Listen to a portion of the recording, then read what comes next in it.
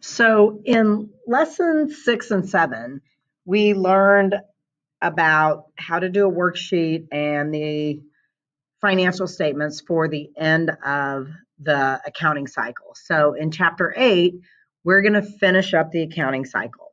And the in lesson 8.1, we're going to learn about what they call closing entries.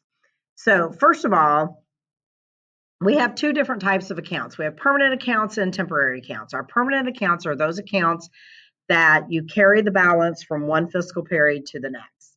They're going to be our assets, our liabilities, and our capital account. So, for instance, if you own a building, an asset, or a computer, or anything like that that you own with your business, if you own it on the last day of December, December 31st of one year, you're going to own that still on January 1 the next year. You don't just get rid of it because the fiscal period ends. So those are called permanent accounts, where those accounts balances just carry over from one fiscal period to the next. Then we have some accounts that are temporary accounts that we are going to close them out so that at the beginning of the next fiscal period, they start at a zero. And the reason we do that is because we have some GAAP rules the matching expenses with revenue. We want to match the revenue with the expense or what it cost us to make that revenue. And so whenever you start over a new fiscal period, you have to clear those accounts out and make them zero to start that over. So the closing entries are going to be journal entries that we use to prepare those accounts for the next fiscal period. The temporary accounts will be zeroed out basically at the end of each fiscal period. And the accounts that we're going to close out are re- revenue, sales, expenses. We're finally going to use this income summary account that we've had on the worksheet and we've been talking about. We haven't used yet. We're going to use it now. And our drawing account. So, who's this guy? Hopefully, you know that this is Andy Reid, coach of our Kansas City Chiefs. And Reid spells R-E-I-D. And so we if you can remember Andy Reid, you can remember what accounts we close out. We close out revenue, expenses, income summary, and drawing. So just a little mnemonic device there to help you remember what accounts we close out. And we're going to do four closing entries.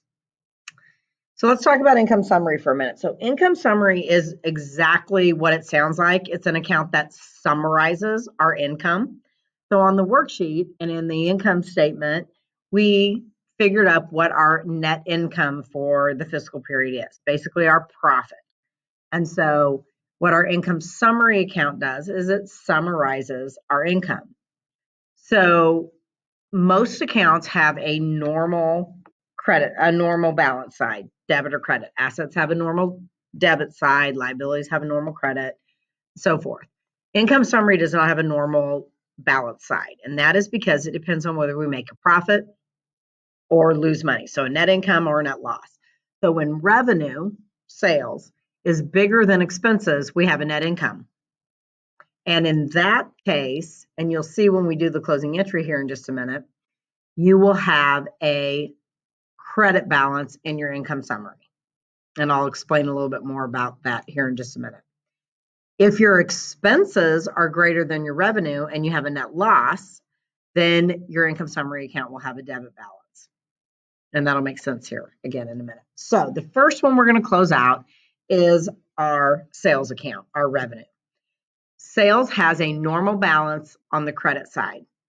And so to make sales show a zero balance, we have to debit it. Well, every transaction has to have a debit and a credit. This is where the income summary account comes in. So if we have to debit sales, then we have to have something to credit, and that's going to be our income summary account.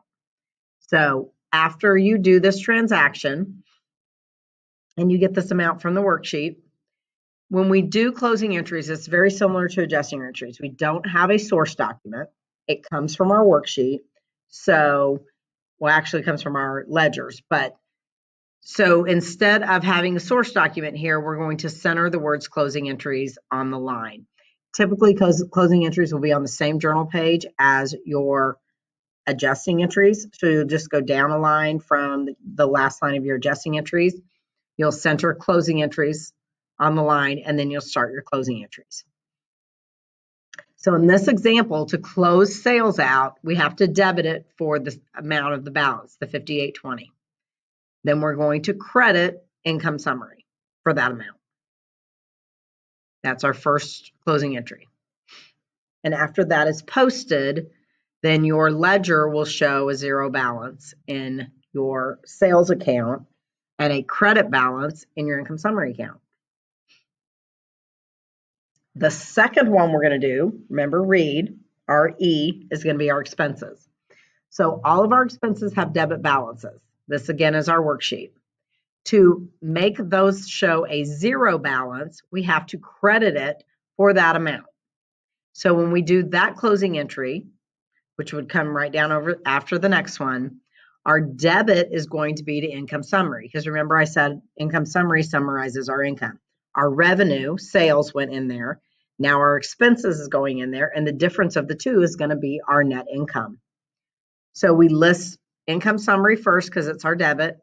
Then you list all of the expenses and their balances, add them up, and the total is the debit to income summary.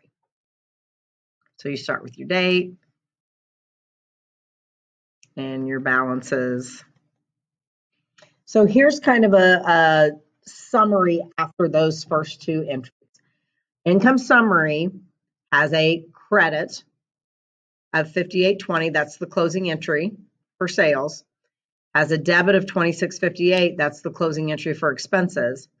Credit minus debit, we have more credit, leaves us with a credit balance of $3,162, which is the amount of our net income.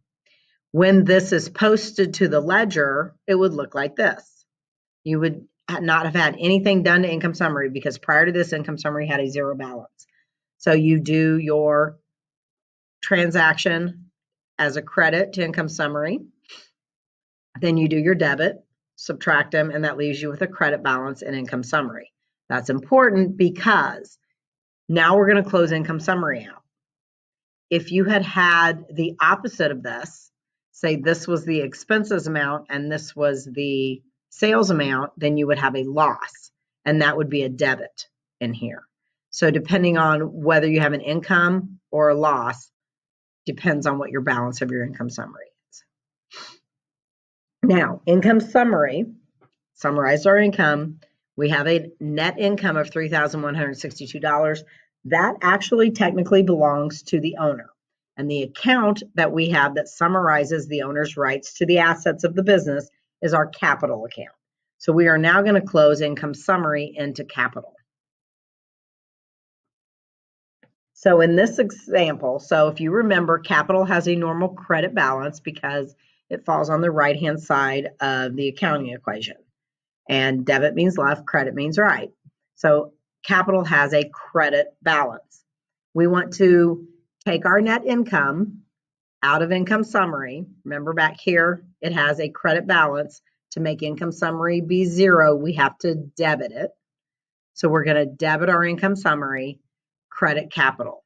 Basically what you're doing is you're taking the net income and you're putting it into the owner's capital account with that transaction. And then the last transaction we have is to close drawing out. Drawing, if you remember, is when the owner takes money out of the business. So if the owner is taking money out of the business, that's going to eventually decrease the capital account. And so mm-hmm. if you remember way back when I introduced drawing, I told you that drawing is a contra account. It contra contradicts the rule of of being on the right side of the accounting equation. Even though drawing is an owner's equity account, which falls on the right hand side of the accounting equation, drawing decreases capital. So drawing has a normal debit balance. And now we're going to take that debit balance of drawing and we're going to close it into capital. And drawing decreases capital. Capital has a credit balance. So we put it, we're going to debit capital and credit drawing. That credit to drawing will zero out drawing and it will decrease our capital when it's once it is posted. You did that same math when you did the statement of owner's equity in chapter seven, where you started with the beginning capital, Then you took the net income, subtracted drawing from the net income, and then what was left was added into capital. That's basically these transactions now are taking that information and updating our ledgers so that our actual ledgers will match what we did on our financial statements.